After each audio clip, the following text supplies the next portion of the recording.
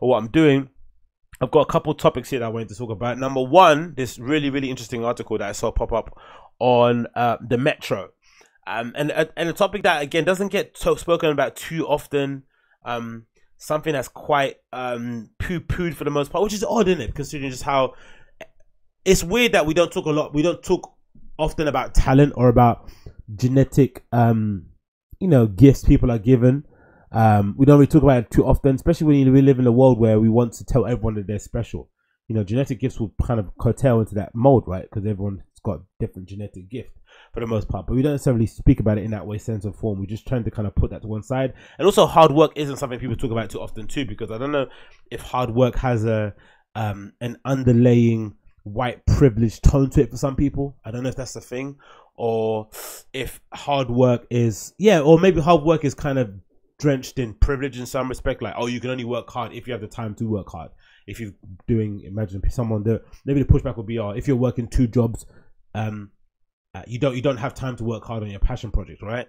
Which is probably the reason why people hate when Joe Rogan says, um, oh, um, he thinks that everyone should, um, you know, start up a little, you know, knife making workshop, a knife making, you know, boutique or make furniture, um, and pursue their dreams because essentially he's someone of uh, privilege who's telling you to, you know, do away with your daily nine to five and pursue your passion, which you know we're not able, we're not quote unquote able to do. I don't know what the thing is, but regardless, interesting. So this article, going back to what I'm speaking about, is from the Metro and it's titled "Ozzy Osbourne survives rock and roll lifestyle thanks to a genetic mutation in his DNA."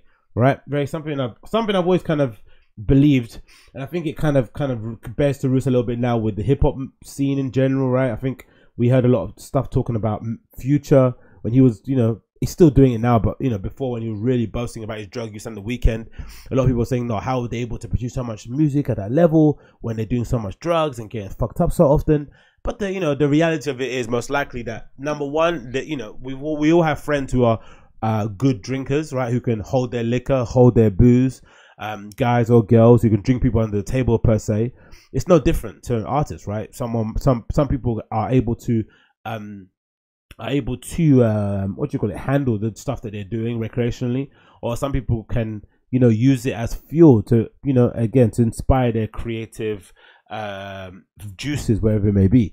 And i always assumed ozzy osbourne the same way too right? Because you heard so many stories about how much how hard he went back in the day or even still now um uh, back in the day during black sabbath days and now even now when he's doing a solo career that you just thought like how's this guy still alive? Like how's he still here? And thanks to his book that's newly been published we know that now it's a genetic mutation. So the t- the the article says as following. Ozzy osbourne lived um uh lived a drug fueled life but despite so okay here. Uh, but despite rocking out at every chance he got, the icon is still going strong at 70 years old. But he doesn't, you know, he looks haggard for 70 to be fair. Um, and while we question how he managed to stand the test of time, it seems uh, biologist Bill Sullivan has figured out how the Black Sabbath star has such a high tolerance against both drugs and alcohol. In his new book, Pleased to Meet Me, uh, Gene, uh, Genes, Germs, and the Curious Forces That Make Us Who We Are, the scientist puts um, Ozzy's remarkable survival down to his genetics, which we all was uh, um, aware of, and we need some of these genes. He wrote, Ozzy is indeed a genetic mutant, which fans could have probably guessed, but it's supposedly the rocker's genetic vari- um, variation mutation that have allowed him to live through such an extreme lifestyle. Just last year, the star spoke to Orange County Register about his substance abuse and how he has finally packed it all in. Finally, at 70 years old, he decided to pack in the drugs, right? It's fucking amazing. he told the publicist, I don't drink anymore. Um, I don't smoke tobacco. I don't do drugs. I'm not. I'm doing good right now. I, I now think, how did I go through? How did I think going into a bar and getting smashed along? Um, all all that cocaine was fun.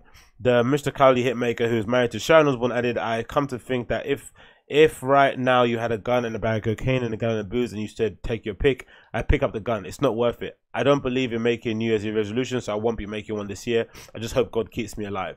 And he sure has been kept alive this year. The star suffered a countless health issues, blah, blah, blah. So, again, they only have one quote from the author, but i have got the book in my read in my watch list, so I can't wait to um, check it out. But yeah, we're, we're, we were all aware that he was a genetic mutation, a genetic freak. But it's interesting because you hear there are some arguments against stuff like this, right? Because you hear people, I think more so maybe in the fat movement, there is this idea that, you know, that they're genetically predisposed to be bigger people when you know i don't know if that if that is actually true. But there is also that interesting thing i mentioned before about you know these influencers are extremely skinny extremely slim who you know genetically do look like they were predisposed to be that size you know even under the layers of fat now kind of suddenly inspiring a nation of women to or you know an army full of women on the internet to decide to go healthy and stuff. Again it's a weird hustle because uh, i don't think it could work in the men's um, way that way. It, I don't think working with the men's industry too much because I think for the most part, guys are aware that most bodybuilders are taking steroids. They're most aware that most of the bodybuilders come from you know a background of years and years of hard work um, in the gym. So it's not as if they they're going to sign up to do a class with you know name your favorite bodybuilder and expect expecting to become to look like him but you know they want some level of kind of guidance and direction on what they should do um, but yeah i think that was the article was really interesting and i think by and large, hopefully going forward, people with substance abuse problems or people that are trying to, you know, um, engineer a lifestyle that is similar to Ozzy Osbourne are aware that, you know, you're not Ozzy Osbourne, unfortunately. And I just think, especially in that era too, I don't think you can discount how important it was to maybe have, to have done drugs maybe in the 60s and 70s when they were maybe getting more purer stuff than we are getting nowadays. I think nowadays doing that kind of level of drugs especially considering how much synthetic stuff's out there, how much fake shit's out there, would probably be recipe for disaster for the most part. I'd imagine so. I guess back in the day, if you're getting stuff directly from the source, if it hasn't been touched, if the demand isn't that high, um, so you know there's not much of it, so they don't need to dilute any of it. There's not many mouths to feed per se, or noses to kind of occupy. You can probably get away of that quite easily. Um, but again, I think that book is interesting. I'm really curious to kind of read it out. Um, I'll let you know what the title is here again, just so you can check out yourself. Um, it's by a guy called Bill Sullivan, and the book is called Pleased to Meet Me Genes, Germs, and the Curious Forces That Make Us Who We Are.